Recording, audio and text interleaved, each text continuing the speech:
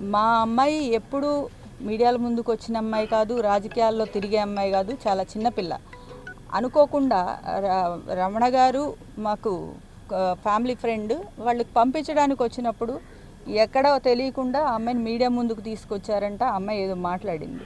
ఎందుకంటే ఒక చిన్న పిల్ల పట్టుకొని దాన్ని ఏదో హైలైట్ చేయాలనుకోవడం అమ్మాయి ఏదో రాజకీయాలు తెలిసిన అమ్మాయి కాదు పోనీ రాజకీయాల్లో తిరుగుతున్న వ్యక్తిగా అమ్మాయి వచ్చి ఆ స్టేట్మెంట్ ఇస్తే దాన్ని మీరు ప్రత్యేకించి చూపించవచ్చు అసలు తనకి రాజీనామాకి థ్యాంక్స్ గివింగ్ లెటర్కి కూడా తేడా తెలియనటువంటి అమ్మాయి. అంటే ఏంటో తెలియదు ఏదో లేట లేకంటే ఏదో రాజీనామా లేక అనుకుంది అనే భావన తప్పితే ఆ అమ్మాయికి ఏమీ తెలియదు ఏదో వచ్చారు జనాల్లోకి తీసుకొచ్చారు మీడియా ముందుకు తెచ్చారు. అది ఎలా మాట్లాడాలో తెలియక ఆ అమ్మాయి చెప్పింది. దాన్ని పట్టుకొని వాళ్ళ పిల్లలు వచ్చి అప్పుడు మీరు నోటీస్ చేయండి. మా అబ్బాయి థ్యాంక్స్ గివింగ్ లెటర్ అని పక్క నుండి చెప్తూనే ఉన్నాడు.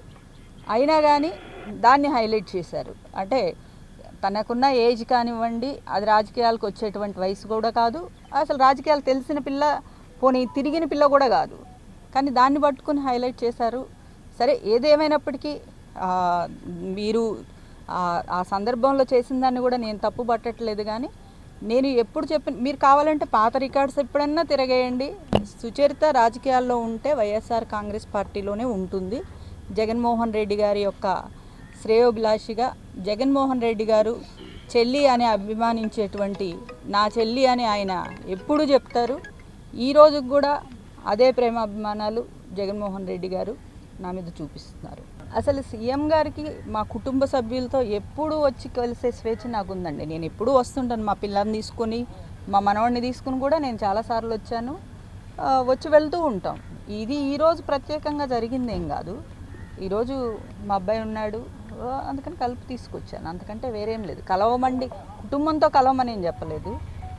నాకు ఎప్పుడైనా కలిసే స్వేచ్ఛ ఉంది. ఈ యొక్క రకరకాల ఏవైతే మీడియాలో వస్తున్నాయో యాక్చువల్గా నాకు బాగాలేదు కానీ దానికి ఒక ఎండ్ ఇవ్వాలనేటువంటి ఉద్దేశంతో నేను యాక్చువల్గా రెండు రోజుల తర్వాత కలుద్దాం అనుకున్నాను. కానీ అసలు ప్రవేశం లేదంట లేదంటే వాళ్ళు కోపగించుకుంటున్నారని ఏవేవో వస్తున్నాయి. ఏవో చర్యలు అంటున్నారు.